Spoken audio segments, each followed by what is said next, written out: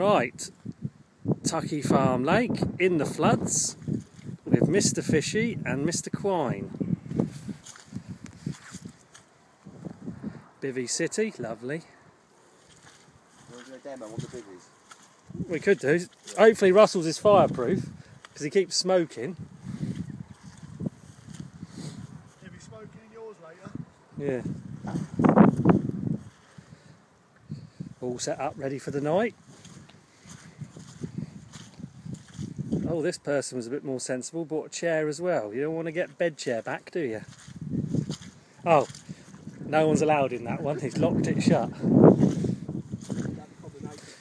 And then we've got a 250 yard dash across the soggiest road in the world to the rocks. Peg, ready to wash your feet. And we've got two here. One over about there, finger out about there, and one just off the corner of that island, about 40 yards past. So about in line with that power line. Look at that. Backleaded back. Um,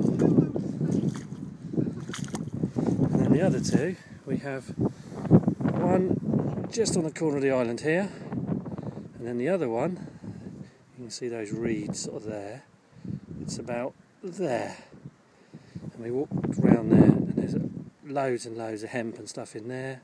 Catapulted loads of bait out there. Chucked loads of bait over on that one. And catapulted loads of bait out to that one. A bit of a line test. Yes, they seem to be fine.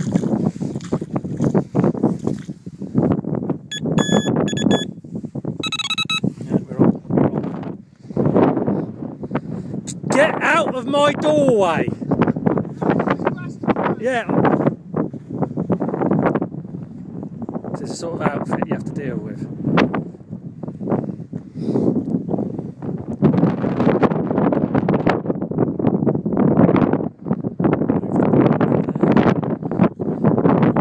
Seems to be spreading across the park. There you go. It's not actually raining at the moment.